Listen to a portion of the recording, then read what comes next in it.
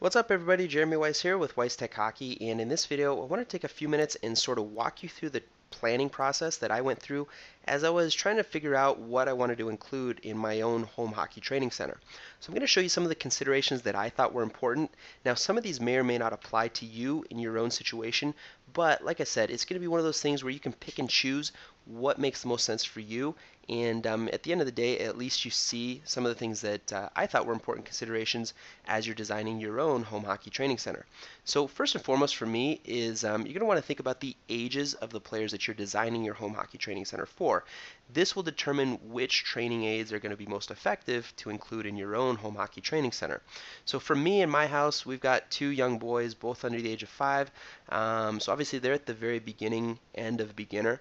Um, but they're not the only ones that are going to be using this. I'm actually going to want to use it as well. Um, all this stuff to me obviously is a lot of fun, so I'm going to want to, uh, you know, I'm, I'm, a more advanced dad, kind of looking to maintain skill levels uh, for the occasional men's league game, drop in tournaments, stuff like that. So for us, we're going to have a wide range of players that are going to be able to use this stuff. So not only does the, the equipment have to be able to be catered to a five year old, but at the same time, um, it's got to be strong enough and durable enough to hold up to some more intense usage from somebody who's a little bit more advanced. So that's the age, uh, the question of age. Next is ability, kind of goes hand in hand with age. For us, we've got beginner to highly advanced, and um, that's where we're going to be, you know, picking and choosing training aids that make the most sense for that. Next is a huge one for me, and that's space. For me, I have a small house uh, with a, a, relatively small yard. Not only is it a small house and small yard, but the house, our house is actually really close to our neighbor's house. So there's definitely some considerations in that for me. Um, space must be kept open for multiple uses. So for me, I can't just designate a, an area of the basement and have that be my hockey area and you know nobody else can use it. I need to be able to have a little bit of a degree of portability with some of the equipment, so be able to set it up and take it down with relative ease. And that's going to definitely play a role in some of the stuff that I pick for um, you know for what I include in my home hockey training center. Uh, the house close to the neighbors, obviously, that kind of goes uh, goes without saying. We want to make make sure that we're not hitting the neighbor's house with pucks. That's especially with the shooting stuff. So I'm going to definitely have a net that's got a backstop setup that um, we can you know really make sure that we're not knocking pucks off the neighbors off the neighbor's siding there. Um, so those are my important considerations for space. Like I said, this may or may not apply to everybody, but for me it definitely is the case.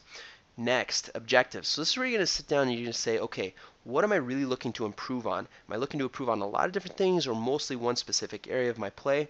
For me, and we kind of talked about this in the other video, but there are two general categories that um, you can you can kind of pick for a very realistic ability to improve on skills at your house. So there's technical skills and there's physical performance. So like I said, some of these are, are some skills that you think about you kind of need to be at the rink to do them, but there's some that are very realistically um, you can very realistically work on and improve on at your house.